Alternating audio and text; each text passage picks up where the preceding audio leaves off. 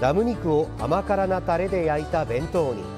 秋鮭から取れた新物のイクラの醤油漬け。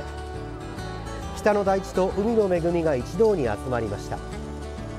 浜屋百貨店で始まった北海道の物産と観光展初出店の8社を含む40の店が並びます。毎年5月と11月の2回開かれていますが今年は新型コロナウイルスの影響で5月が中止されていました。楽しみにしてるんでちょっと残念ですけど、まあ、北海道のもやっぱり美味しいものが多いんでちょっといろいろこれから見て回ります。鮭です。甘くてなんか柔らかいって聞いたので一個一個包装してあって衛生的にもいいかなと。北海道では新型コロナウイルスの感染が再拡大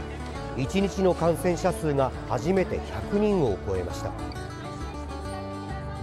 なかなかあの催事のご出店ができずに困っていらっしゃるお問い合わせもたくさんありまして北海道物産展を、え開催して、まあ、北海道の皆さんを応援していこうという形で、え頑張っております。札幌市から初出店の寿司どころきり。今回の物産展のためにウニ、カニ、イクラなど10種類以上が贅沢に乗った弁当北の海の宝石箱デラックスを手掛けました。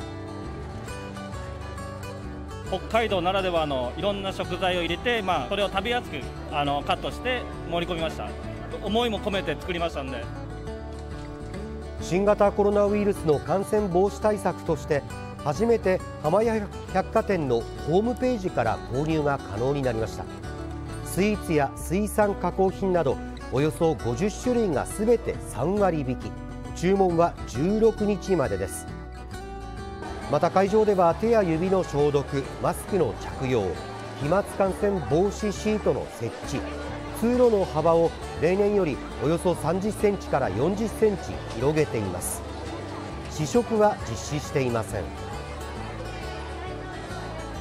海の幸、それから山の幸、まあ、本当美味しいものがたくさんございますし、え、できれば、えまあ、こういった状況の中でございますので北海道物産展の商品でご自宅の方で晩ご飯を、え、楽しんでいただければ。北海道の物産と観光展は24日まで浜屋百貨店で開かれています。